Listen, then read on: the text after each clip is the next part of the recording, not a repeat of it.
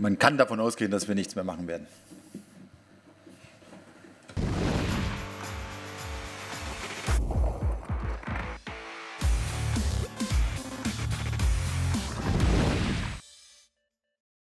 Man kann davon ausgehen, dass wir nichts mehr machen werden.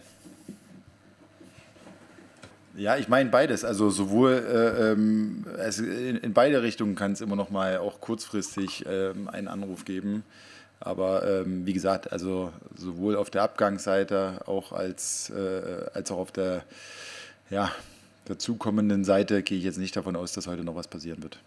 Es ist ja unsere Aufgabe und auch unsere Pflicht, ähm, uns umzuschauen natürlich auch. Und natürlich haben wir äh, das eine oder andere noch abgeklopft, aber man muss ehrlicherweise sagen, dass es ähm, wirtschaftlich dann doch auch nicht gepasst hat für uns. Also der, der uns qualitativ besser macht und auch noch Geld mitbringt, den haben wir nicht gefunden.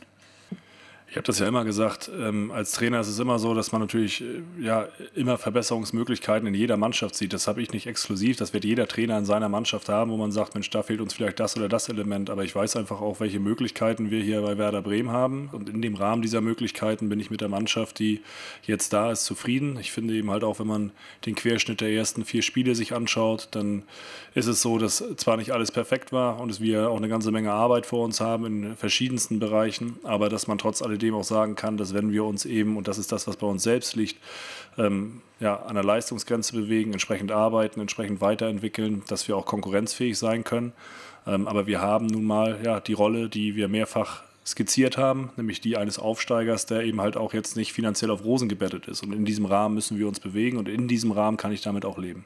Was den Kader angeht, sind wir sehr zufrieden. Ähm, es war natürlich eine riesen Herausforderung auch für uns als Aufsteiger, wenn man auch, ähm, ja, ich kann mich da auch nur wiederholen, die wirtschaftlichen Mittel auch bedenkt. Und äh, ich glaube schon, dass das Ziel, was wir hatten, auch einen Kader zusammenzustellen, das haben wir auch im letzten Jahr schon gesagt, der, der entwicklungsfähig ist, ähm, einfach um auch Werte zu schaffen, aber auch einen Kader zusammenzustellen, der ja, von, einem, von einem hohen Konkurrenzkampf eben auch lebt. Und äh, ich glaube schon, dass wir da dass, wir, ähm, dass uns das gelungen ist. Und man muss natürlich auch sagen, ähm, in der vergangenen Woche haben wir natürlich auch gesagt und äh, wurde uns allen auch gesagt, ja, wie toll und schön alles ist. Wir wissen das auch richtig einzuordnen, weil wir eben auch wissen, wir sind Aufsteiger.